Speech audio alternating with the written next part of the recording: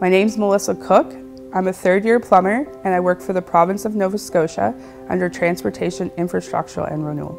I'm 30 years old. Before I was doing uh, plumbing, I was a server and a bartender for years, probably 10 plus years, and I was starting to burn out with the late nights, the weekends, no pension, no retirement, no vacation. So I decided I was going to go back to school, and I thought maybe I'll get a trade, but I didn't necessarily know which trade. I thought maybe electrical. So I did some research and I found a program called Women Unlimited, which is a 14 week career program for women to explore non traditional trades and technology. We went to various shops, tried a bunch of little projects, and I went into the pipe trade shop and fell in love with pipe trades. Getting a trade, now I have paid vacation, sick time, medical, dental, pension, and retirement. It's awesome to feel that I'm finally secure in my workplace. My favorite aspect of the job is how diverse our job is.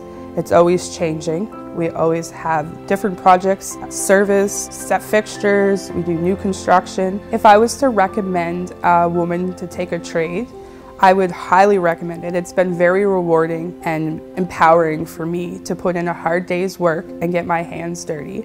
So I would definitely recommend it, but I would also let her know that she should be prepared to get dirty and work hard, and she should feel fulfilled by a hard day's work.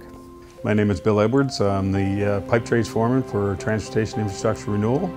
I am uh, actually Melissa's boss. It's been great having female apprentices in the trades. The old school mindset has to change.